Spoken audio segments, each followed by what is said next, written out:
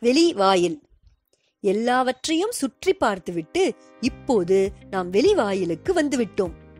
வேதாந்தம் என்ன கூறுகிறது என்பதை பார்த்தோம். நாம் நமது கருத்தாக என்ன கூறுகிறோம் என்பதையும் பார்த்தோம். அதன் பிறகு இரண்டு கருத்துகளையும் அவற்றின் பிரதான பகுதிகளில் எவ்வாறு உடன்படுகிறது எவ்வாறு முரண்படுகிறது என்பதையும் பார்த்தோம். நாம் என்ன தெரிந்து கொண்டோம்? வேதாந்தத்தை வாதிட்டு ஜெயித்து காட்டியுள்ளோமா? வேதாந்தம் தனக்குரிய பாணியில் உண்மையை விளக்குகிறது. அதனுடைய வார்த்தைகள் அனைத்தும் வேதாந்தத்தை பிரம்மாண்டப்படுத்துகின்றன. அந்த பிரம்மாண்டத்தோடு ஒப்பிடும்போது நமது கருத்துக்கள் மிகவும் சாதாரணமானவை.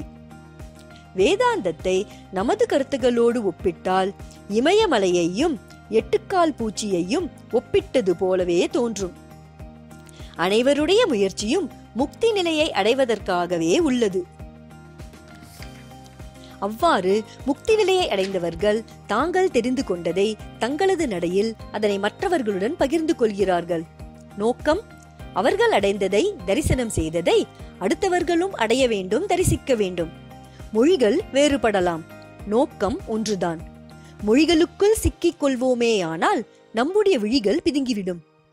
எந்த கண்ணாடியை நீங்கள் பார்த்தாலும் சரி அதில் உங்கள் முகம் தெரிய வேண்டும். அது உங்களுடைய முகத்தை காட்டுவதற்கு பதில் வேறெதையோ காட்டுமேயானால் அது கண்ணாடியே அல்ல.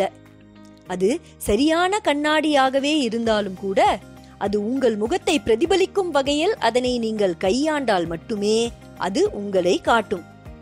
எல்லாவற்றையும் உங்களுக்கு காட்டிவிட்டு உங்களை வெளிவாயிலுக்கே கூட்டு வந்து விட்டோம். மீண்டும் மீண்டும் நீங்கள் உள்ளே சென்று வர தேவையில்லை.